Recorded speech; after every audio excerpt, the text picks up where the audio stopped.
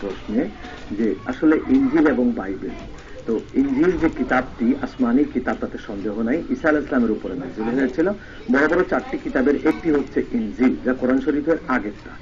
কিন্তু পরবর্তীতে এগুলো তাহারিফ হয়েছে, যার যেরকম মন চাইছে নিজেরা ধর্মীয় সমাজের ইমাম সেজে প্রধা ব্যক্তি সেজে নিজেরা নিজেদের মত ঢুকায় দিয়েছে, নিজেরা লিখেছে, যার কারণে এগুলো ভলিউম হয়েছে অনেক।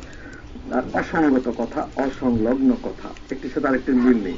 কিন্তু কোরআন শরীফের ফার্স্ট টু লাস্ট অসংলগ্ন কোনো কথা পাবেন না। সব কথার লিঙ্ক আছে। একটির সাথে আরেকটির কোনো না কোনো ভাবে মিল আছে সাপোর্ট আছে। এটা হলো কোরআনের একটি বৈশিষ্ট্য এবং মর্যাদা। আর বাইবেলের দেখবেন, সারা বাইবেল জুড়ে শুধু অসংলগ্নতা, এক কথার সাথে আরেক কথার মিল নেই। তার মানে কি? একজন মানুষ, সে বুঝতে পারে না যে আমি কি বলেছি দশ বছর আগে। বলছি দশ বছর পর। তার নিজের কথাই তো এলোমেলো হতে পারে। এবং একজন না ওরকম কয়েকজন কইছে। এগারো মন যেরকম চাইছে ওরকম। এভাবে সমস্ত আসমানি কিতাব, তাওরাত বলেন ইঞ্জিল বলেন, জাবুর বলেন, সব এলোমেলো হয়ে গেছে। এবং এইসব আসমানি কিতাব, এলোমেলো কিতাব থেকে আবার একটু একটু করে নিয়ে নিয়ে নিয়ে নিয়ে বিভিন্ন ধর্মের বই পুস্তক লেখা হয়েছে, ধর্মীয় কিতাব, অন্যান্য ধর্মের। ওই ধর্মীয় বইগুলো ওইরকমই নিজেদের মানুষের সৃষ্টি।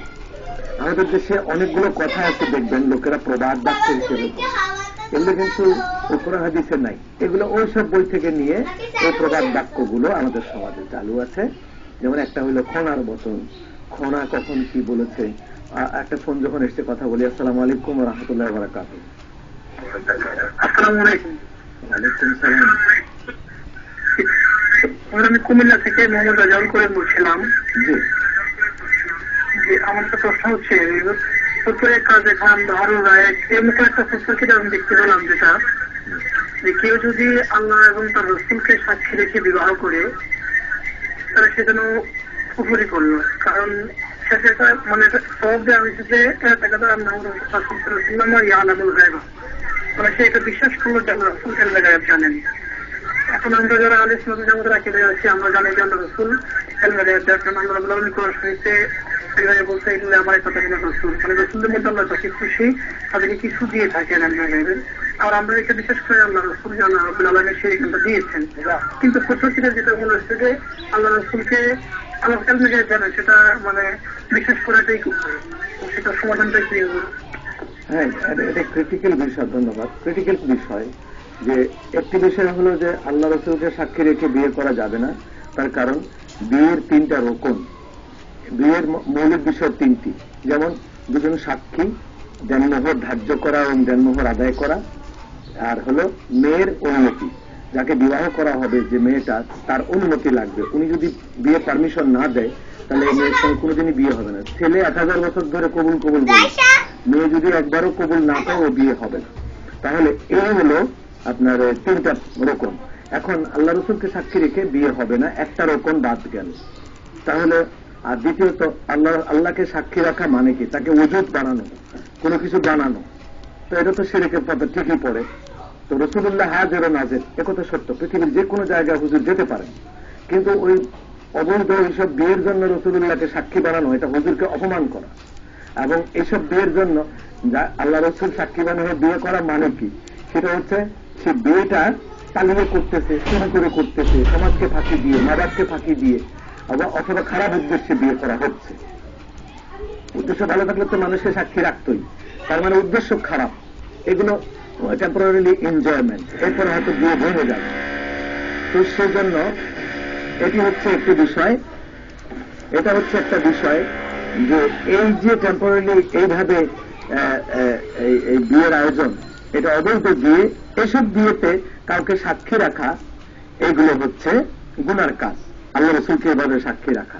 তো সাক্ষী না থাকার বিয়েতে এটা হচ্ছে একটি অবৈধ বিষয়। আল্লাহ রসুলকে সাক্ষী বানানো আরও দৃষ্টতা আরও অন্যায় সেদিক থেকে এটা বাহরুরা এক ফটোয়ার কিতাবে লিখেছে যে এটা শেখ তো চলুন আমরা আরেকটি প্রশ্নে চলে যাই যে কথা বলতেছিলাম। একটা ফোন আসছে ফোন নিয়ে কথা বলি। আসসালাম আলাইকুম রহমতুল্লাহ বারাকাত ফারুক ভাই আমি খিলগাঁও থেকে ফরহাদ জি বলুন আমি বুঝতে পারছি না। ভাই আমি জানতে চাচ্ছি যে একজন মানুষ কীভাবে সৈয়দ হয়? বাবা সৈয়দ মা সৈয়দ হলে কি সৈয়দ হবে? আচ্ছা নাকি মা সৈয়দ কিন্তু বাবা সৈয়দ না বা বাবা সৈয়দ মা সৈয়দ না বা সে অরিজিনাল সৈয়দ কীভাবে আমরা দেখতে পাই? ধন্যবাদ। সৈয়দ দুইভাবে বলা যেতে পারে। শাব্দিক অর্থে যদি সৈয়দ বলতে চান তো সৈয়দ বলা যায়। সৈয়দ শব্দের অর্থ নেতা সর্দার ইমাম নেতৃস্থানীয় ব্যক্তিবর্গ, তাকে সৈয়দ বলা যায়, সৈয়দুনা অমুক সৈয়দুনা অমুক সৈয়দুনা অমুক। তো এই যে সৈয়দ শব্দটা, এটা হলো সর্দার, লিডার, নেতা, ইমাম। সবকিছু সমন্বয়ে যেটা হয়, সেটাকে সৈয়দ বলে। এই অর্থে যদি সৈয়দ হয়, তাহলে আমরা যত ইমাম আছে বাংলাদেশে সাড়ে তিন লাখ, সব সৈয়দ। তারপরে যত আলেম আমরা আছে, আমরা তো লিডার এক পর্যায়ের লিডার, ওরা সৈয়দ। পলিটিক্যাল লিডার যারা, ওরাও সৈয়দ। সৈয়দ নেতা সব সৈয়দ এখানে। আর যদি রসুল্লাহর বংশ শুধু হয় রসুল্লাহর বংশকে সৈয়দ বোঝাতে চায়, তাহলে কিন্তু এখানে অনেক বিবেচনার কথা আছে, হুজুরের বংশ ছাড়া আর কারও নামে সৈয়দ লেখা যাবে না। তাহলে হুজুরের রক্ত যার দেহে আছে অথবা হুজুরের আত্মীয়, তিনি কেবল সৈয়দ হবেন। তো আমাদের দেশে এখন ওই যে, ওই সৈয়দ ব্যবসা, তারপরে যে আওলাদের রসুলের ব্যবসা খুব জমজমাট। আমাদের দেশে বয়সুল আজমের ব্যবসা এগুলো খুব জমজমাট ব্যবসা এগুলো, এবং পীরের ব্যবসা। আমাকে পিসাবেরা কিন্তু এখন ওভাবি বলবে, যত এই, এইসব কাঁদা লাগানো পীর যারা আছে, তারা আমাকে ওহাবি বলবে। বলুক, আমি ওনাদের জন্য সুন্নি হই। আমি সুন্নিদের জন্য সুন্নি না। আমি কারও জন্য সুন্নি না। আমি সুন্নি কাঠোরের চাইতে লোহা চাইতে শক্ত সুন্নি, কার জন্য? আমার মাতা আকা ও মাওলা আমার নবী মুস্তফার জন্য। আমি তার গোলাম। আমি তো পীরের গোলাম না। সুতরাং আমার নবীর নাম বিক্রি করে ধোকা দিয়ে পীরের নাম বিক্রি করে দরবারবাজি অর্থ সম্পদ লুটপাট, মানুষের ইজ্জত লুটপাট, দেশের কোটি কোটি টাকা, বিশ তিরিশ কোটি টাকা খালি প্রচার সারা দেশে ব্যানার আর সাইনবোর্ড আর পতাকা, একটা ব্রিজের মধ্যে দেখছি দুশো পতাকা। তো বিশ তিরিশ কোটি টাকা হিসাব করে দেখলাম যে প্রায় বিশ কোটি টাকার মতো সারা বাংলাদেশে প্রচারে চলে গেছে। ইনভেস্টমেন্ট যদি বিশ কোটি খালি প্রচারে হয়, কামাই কত করতে হবে? এগুলোর নাম ইসলাম যদি হয়, ইহুদিরা এই ইসলাম নেবে, কোন পৃথিবীর লোক এই ইসলামে আসবে কোনোদিন? ফালতু একটা ইসলাম এটা? এটা- কি ইসলাম এটা? ইসলামকে এইভাবে শেষ করে দেওয়া হয়েছে। ইহুদিদের প্রোডাকশন আমাদের ভিতরে ঢুকায় দেওয়া হয়েছে। একদিকে যেরকম ওহাবিদেরকে ঢুকানো হয়েছে, আরেকদিকে আমাদের ভিতরে ঢুকানো হয়েছে। সেই জন্য আজ আমাদের সাবধান হতে হবে যে এই যে দরবারবাজি এবং এই যেটা ব্যবসা চলছে, মুরিদ কমে কমে গেছে, পীর বেড়ে গেছে। এত পীর, সবাই পীর। মুরিদ হইতে দেরি, পীর হইতে দেরি নেই। সুন্নিয়তকে শেষ করে দিয়েছে এরা। পীর মুরিদিকে শেষ করে দিয়েছে, তরিকা শেষ করে দিয়েছে, মারেফত শেষ করে দিয়েছে। হিন্দুতন্ত্র এনে ঢুকায় ফেলেছে। হিন্দুরা তো এখন তো অভাবীরা বলবেই। অভাবীরা তো সুন্দর করে বলার সুযোগ হয়েছে যে এটা সব যুগীতন্ত্র ঠাকুরতন্ত্র এটা ওই যে ওটা কি কয়? ওর সন্ন্যাসী তন্ত্র। এগুলো তো ওরা বলবেই। বলার সুযোগ করে দিয়েছে এরা। সুতরাং সুন্নিয়তের নৌকা ডুবাই দিছে এরা। সুন্নিয়ত এবং তরিকার মাথা দাঁড়িয়ে দিছে এরা। শেষ করে দিয়েছে আমাদেরকে। এখন আমাকে, আমি যদি বলি, আমি মরে যাব দুদিন পর। আমি আমি বোবা শয়তান হয়ে মরতে পারব না। হক কথা আমাকে বলতে হবে।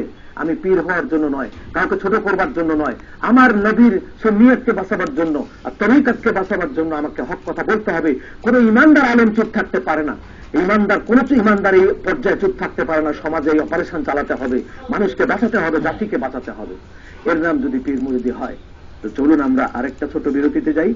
ফিরে এসে আবার কথা বলছি।